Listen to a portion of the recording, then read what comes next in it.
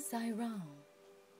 Thought for the day, as written at Prasanthi Nilayam, today, 10th January 2012.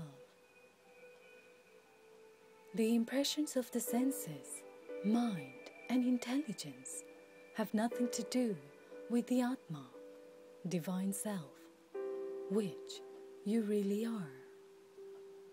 The Atma is unaffected by any subject or object or pleasures.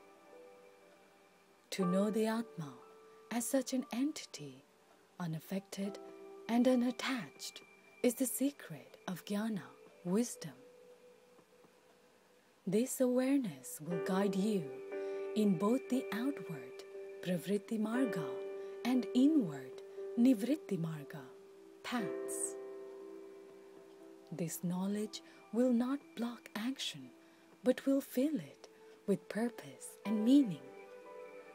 It will build up faith, inspire a moral life, and take man to the realm of deliverance along the road of Nishkama Karma, action that is not prompted by desires.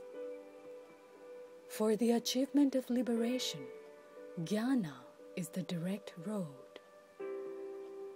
Therefore, it is incomparably sacred. And naturally, it follows that ignorance is undoubtedly the most despicable. See the universal in the particular. See the particular in the universal.